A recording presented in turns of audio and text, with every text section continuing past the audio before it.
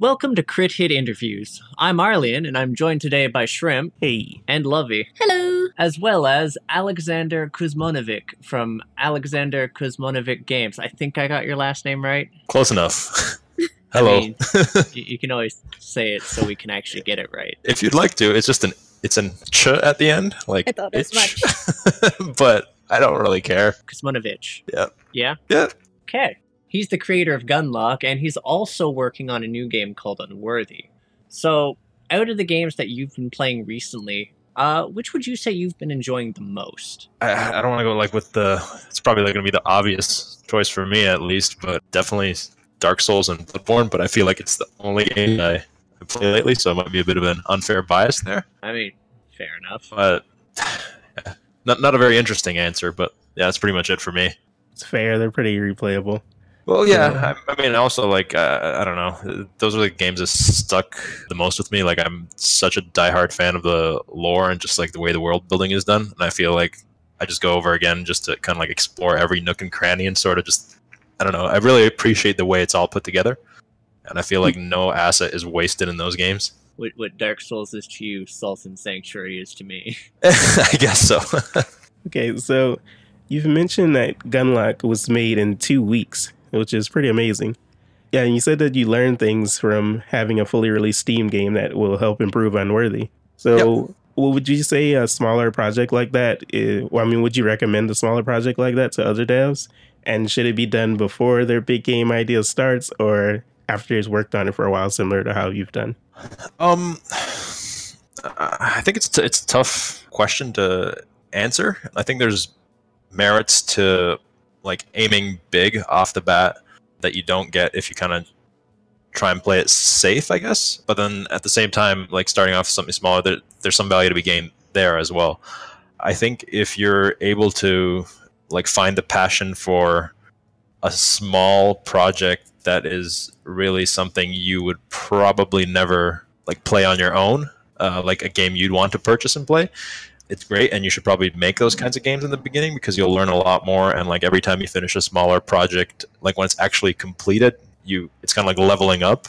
You you really don't level up as much if you're just working on a project but never release it and complete it. I don't know if that makes complete sense, but the, the the difficult part I think with making the smaller games is often like even you guys as players uh, and myself, I, I don't go in and fantasize about like super small games like you, like Salt and Sanctuary, which is a huge like piece of work for, for an indie team. I like Dark Souls, which I, I, don't, I can't fathom an indie team actually putting together something like that.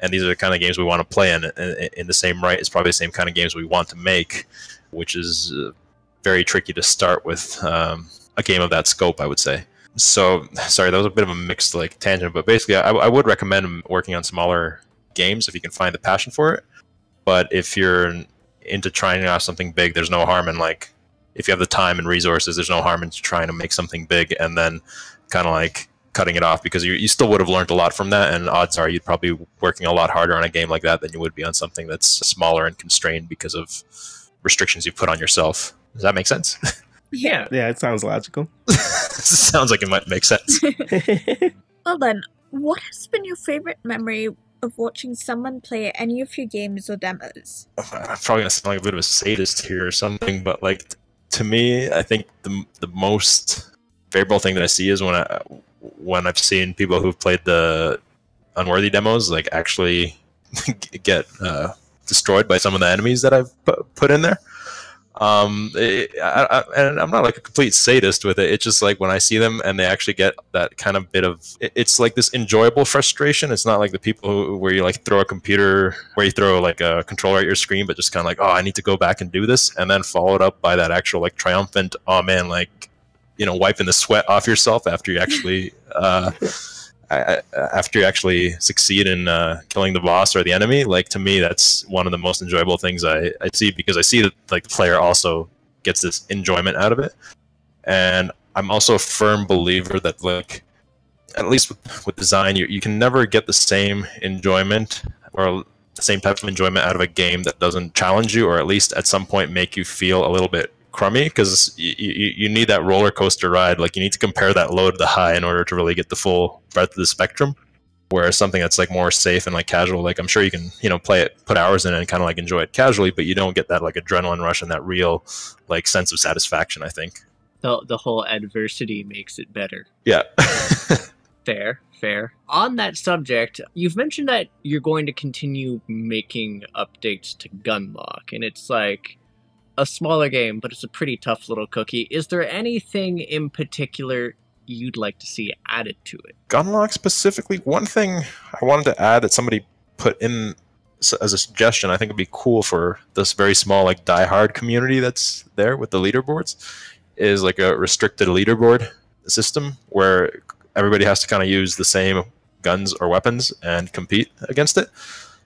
Be, just because it's something like I feel like I would like because I'm not gonna spend the time thinking about how somebody like put together this you know crazy awesome build or exploiting some gun that works better here or whatever but it'll be literally like you know exactly same setup and it's like who's actually better with their like twitch reflexes? Fair enough.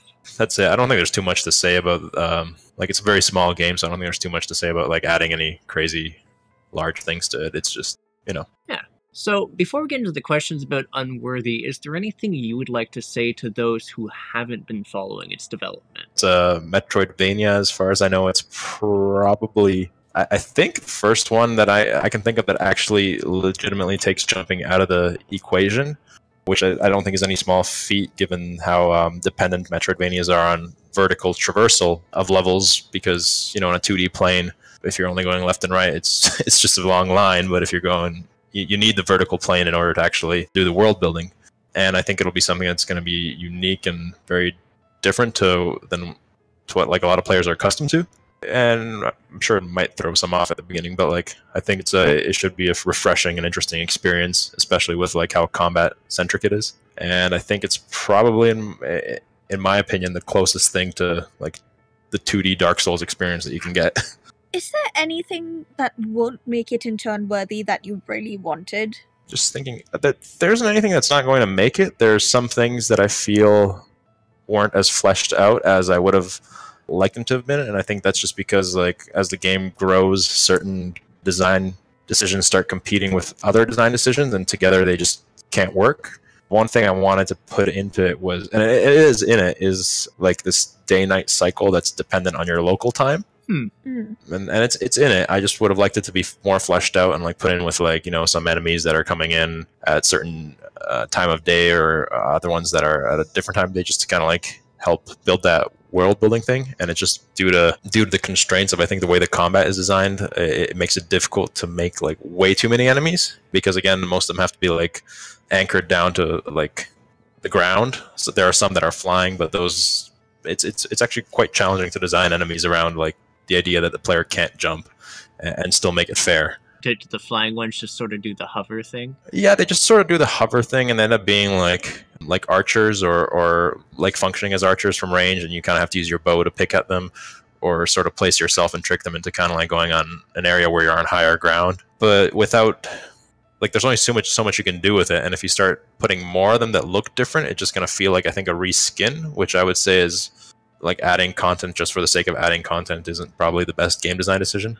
Like it, it has to be well thought out and Yeah. play a role because um, you know it's it's like the movie as, as well. Like if you sometimes you'll go in and you'll enjoy a movie that's an hour and a half, and you know you spent the same amount of money on it as a movie that's like two and a half hours, but the two and a half hours you you walk there, you're like, man, that could have been condensed to like an hour and a half, and, and it just ruins the experience as opposed to you know they could have spent less time making it and it would have been a better film. Yup. Been there, done that. yeah. So, so, so yeah. To, back to answer that question, just like I wish I'd fleshed out the day night cycle a little bit more. Uh, there's a few things that are like dependent on it that are optional, like quest things, which is kind of like hinted with like riddles and stuff in in the game. So like certain things you you have to do at a certain time on your machine That's If you wanna, like, finish the whole story. I don't, I'm I'm curious to see how it'll play out and if anybody's gonna be frustrated with it being like, oh, I don't want to like it's an inconvenient time for me to play or whatever. But Just change your your clock. yeah, I think so. I think some like- people won't know won't won't know that. like Okay, SNS Brothers, uh, the swords and sorcery Uh-huh. thing, had a similar system. Certain stuff in the game required certain times for like stuff. In it. okay. So you, you either did a horribly crappy thing to change your time, or you actually, you know, just played at those certain times, or you just changed your clock on your computer. Yeah, I what used to do that back in like the Game Boy days. Uh, you could, because some games also relied on real life time, and you'd just be like, okay, time to fiddle with this. What are you doing? Yeah, I definitely remember doing that for Boktai. Oh, also Fable. Fable um, setting the date to like the earliest you could set it, getting into the game, saving, and then advancing the game by a hundred years because you gained like experience and money over time, like at a certain point. so you're just like, ah, this would be hypothetically the amount of experience I would have earned after a hundred years. It's less it's less impressive than I would have thought, but oh well, I'll accept it.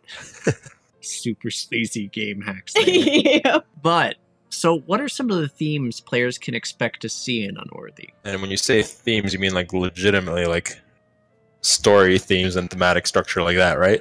Yeah, basically. Uh, Well, just to like put it out there so that nobody gets the wrong impression, thinks it's like you know some crazy point and click story adventure thing. It's mostly centered around like player experience of combat and in Stabbing and people. stabbing stuff and like you know having a good old time and exploring and things. So, so it's very much in like the vein of you know the Dark Souls stuff. Like you don't actually have to pay attention to the story at all if you don't want to, but there's a whole like deep world there for you to explore if you'd like to. Uh, so that's kind of how it's structured. But it's supposed to touch in some ways on like the theme of death and, and life as well, but not like this whole you know like what like dying, living kind of thing, but like in the idea of through certain eyes, could it be possible that life is a, a darker sentence than death itself? I suppose, and mm-hmm. that's kind of how it's structured. I don't want to sound like super morbid about it. It's more like supposed to be uplifting about like getting more appreciation for life, but the idea of like it's supposed to touch on thematically that like life is only a blessing if you actually mold it and structure it in a way that it is. It's very easy to turn life into something that's worth worse than death itself if if and, and that's not maybe just for you, but I mean like for others as well. So that's kind of like some of the themes that touches on. On that note, what were your thematic inspirations? Thematic inspirations. Yeah, literature, games, anything really. Y- Yeah, I know. I'm, I'm trying to think like what is it specifically about l- literature? It, honestly, it's gonna sound maybe like uh, stupid. A lot of it is from just thinking about my own experiences i- in life, and I kind of just took very simple experiences, small ones, and kind of like cranked up the dial to multiply it by hundred, I guess.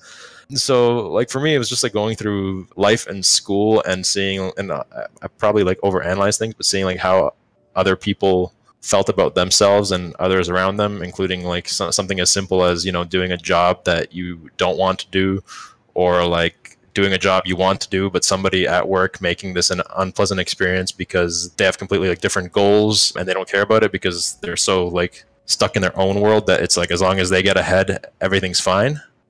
But then like this might, and it's just like through people I've met as well. Like these things kind of trickle down to not just like then influencing that person's life, but they come home or like talk to somebody else, and this like darker root seems to like get into other people's lives as well, and it sort of tends to spread. And it all came down to at some point like came from a single person who thought that you know as long as my life is better, who cares how the other person's life is? And it's not like just the immediate person that they influence, but like it kind of spread through everything.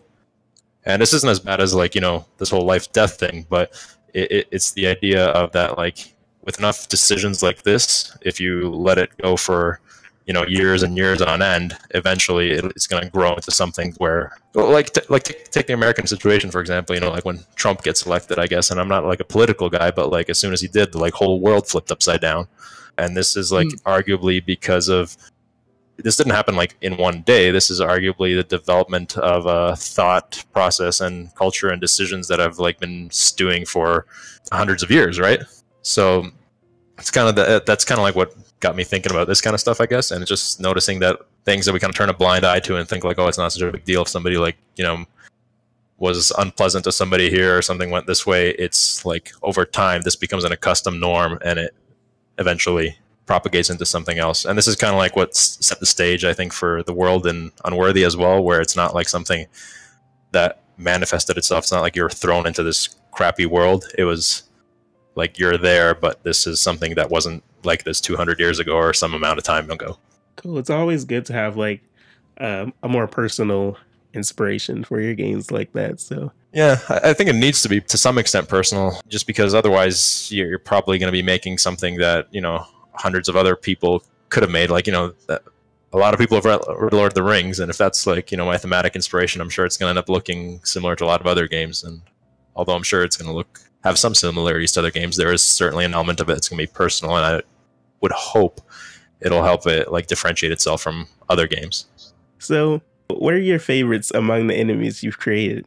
so far uh well i can't disclose which one it is my, my favorite i think so far is the the third boss i can't disclose who or what it is i don't want to i guess i can but i, I don't want to and that's pr- probably so far uh uh, my favorite I, I, I've I've lurked on your social media a little bit, so I have to wonder if it's one of the ones you've already showcased, or if it's actually. no oh, i have i've, I've okay. made a very strong like effort to not sh- show any of the bosses except for the two that are in the demo Hmm. Keeping that that precious favorite to yourself, and so we can be surprised by it, huh?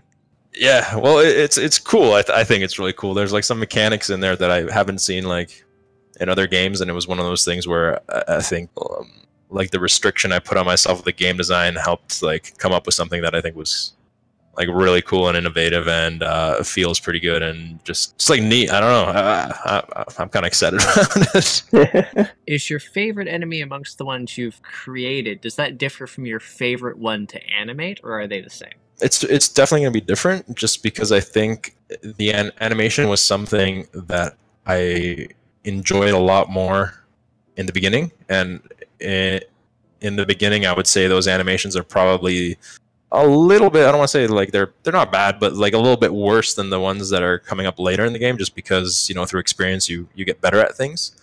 But at the same time i was having a lot more of a blast when i knew less about animation because it was kind of like this process of self-discovery trying to figure out like what works well and trying to come up with creative ways to like animate things better and save time here and make it look cooler and stuff like that. Whereas now i've kind of got like this developed toolkit so it's it's more of like a rinse and repeat the same process over and over again which is not as fun i guess Yeah. Fair enough. so by that logic, I would say that the enemies that I was doing earlier in the game were the ones that were more pleasant to to animate and uh, more interesting to animate than the ones I'm doing now. I'll admit, I really dug the uh, the archer. Oh yeah, That's the the one where he uh, with the gunning down the demon thing. Like, yeah, just like like complete murder storm of arrows. yeah, Yeah, I, well, I, I like. I don't know. I'm a big fan of the like Japanese, I guess, style of like setting things up where you know it's like these power levels that are don't make any sense. Like you know, people blowing up planets like Dragon Ball Z and things. I feel just like kind of it, it makes this seem like oh this is really serious, but at the same time you're like you know come on this is this is gonna be a joke too. So Th- this is ridiculous, but awesome all the yeah. same. Yeah. So uh, that's kind of like that was a, my little stab at something like that, and I don't know. I thought it was pretty cool. So I'm glad you enjoyed it too. So, what has been your favorite content in general added to Unworthy? Probably one of my f- the single favorite thing that I have in the game is uh, this like hammer weapon that's in there, and it's not just because like you know I'm like a huge fan of warhammers or something. It's just the way it, it, interacts with enemies is for and also the environment and world I think is probably the most like dynamic and influential weapon in the game because uh, it, it does like so many things. It it'll like you know breaks shields of enemies. It influences these like weirdly buoyant uh, platforms and basically like when you hit it with a hammer it like pushes it down and it starts like oscillate in the air and um, you can like use this as a means of like vertical traversal as well as there's some like pretty cool I, I think they're pretty cool like uh, puzzles in, in the game as well using this uh, mechanism. And I, i'm also trying very much like i'm speaking on tangent here a bit but like trying to not make puzzles overly complicated uh, in the game and not like make them way too time consuming they're just like these like little simple aha moments because i think that the game is probably geared to a player base that isn't as interested in um, like some overly complex puzzles where you have to like you know spend 30 minutes thinking about how to like put all your things together so that finally this one door opens. I mean, I'm effectively like designing a game for somebody who's like me, and that's never been an interest of mine. So, yeah, Fair enough. Yeah, so complicated enough that you have to think about it for a bit, but not so complicated that you'll just look it up.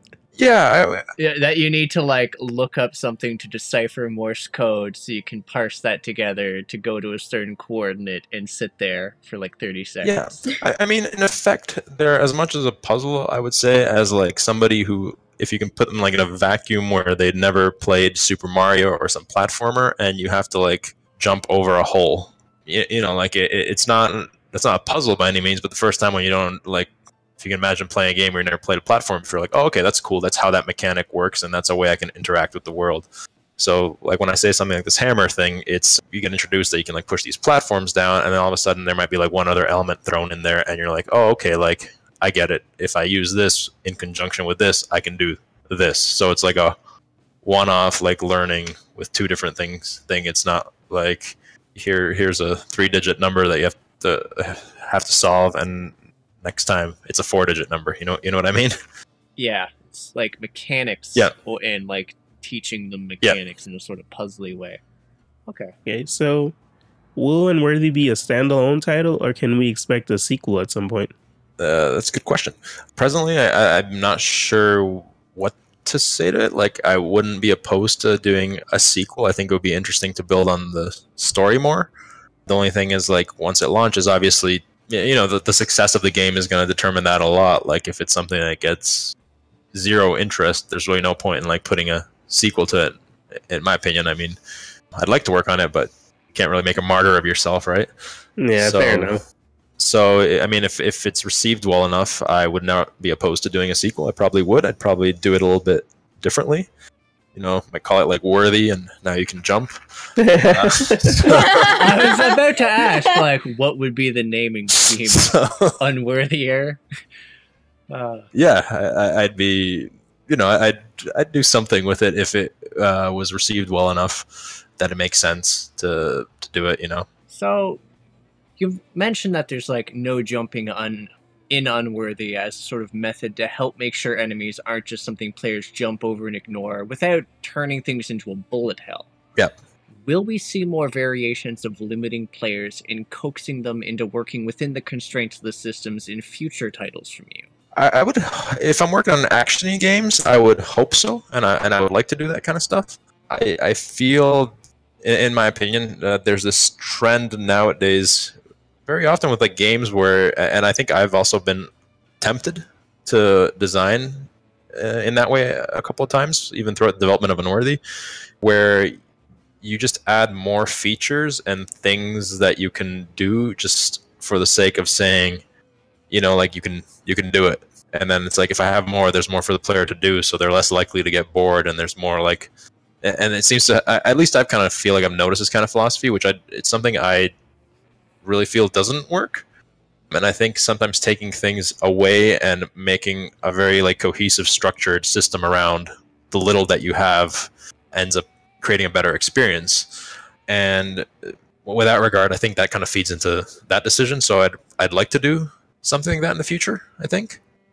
I I think it also helps a lot with conveyance because, like, for example, taking away jumping in unworthy, you kind of like go on the first screen and you kind of roll around a bit and you know try out your attacks and do things like that, and you immediately you're like, okay, so I get to move like left and right, I get to roll, and then you're throwing up a few things in like a safe environment are thrown at you to figure out what else you can do with that roll and kind of how it works, and if immediately like, okay, like I, I know everything I need to get through like 95% of this game, and then like later you get introduced a few like other tiny mechanics that really just like contribute to very s- specific situations.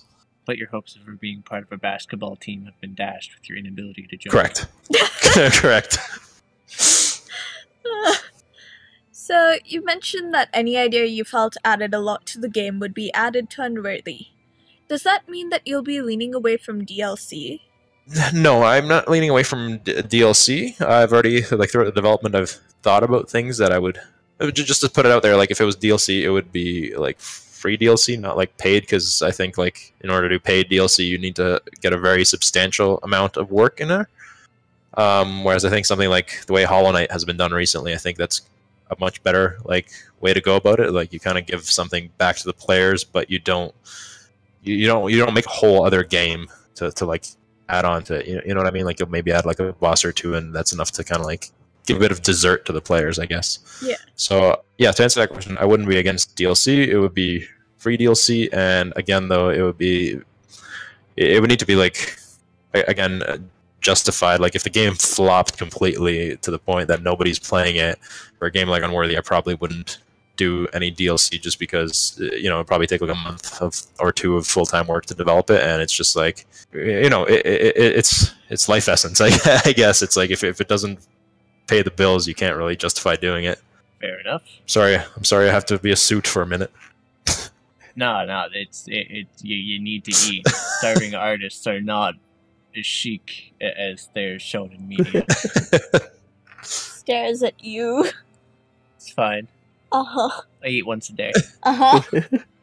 exactly. So you said that you kind of started too big with game development and started with an MMO, and then you decided to work on Runic Legacy of Sin, but that turned out to be a bit of a long project as well. But my question is, can we still expect to see Runic maybe sometime after Unworthy's done? Yeah, I mean, um, for me, like, I have a lot of like plans about how I'm going to approach future projects, depending again on the success of this project. And it's basically like Runic is really the game I think I, in my heart I really like want to make. Uh, not to say I, I did, didn't want to make Unworthy, but like this is that's like the like ultimate goal project. I feel like that would be, you know, after I'm done that, I can kick the bucket. But the the thing is, it, it's just something that I would like to do, but I, I need obviously the resources, the I guess for lack of a better term, like safety to actually embark on uh, working on a project that I think is that large. Um, so it's definitely the game I want to make. It's still there. It's just uh, I can't answer whether it's going to happen or not. It, it really depends on a lot of like factors in, in life that are yet to be revealed to me. Uh, Fair enough. And maybe when Unworthy is really successful, you could expand that art team and then have it released faster than you thought it would be.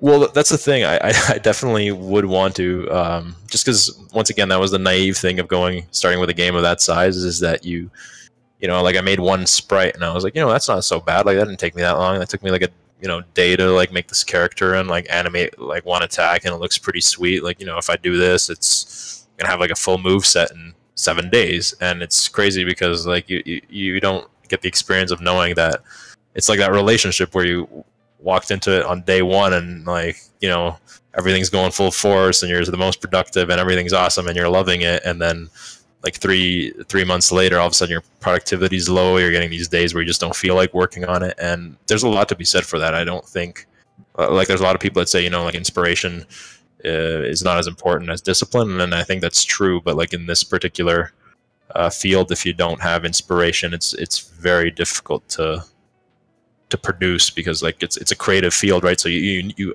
you need and you can't be disciplined to be creative like I I don't think you can. I think you need that inspiration in order to to move forward. Hmm. And I think uh, getting like a bigger art team to like do these things uh, is something that would help because that way, if you're producing quicker and you see results quicker, it also helps you stay motivated. It's those like lull days when you spent like seven days doing one thing, and at the end of the day, this might like translate to five minutes of a player's experience. That's a little bit like demoralizing, and it's something that happens all the time.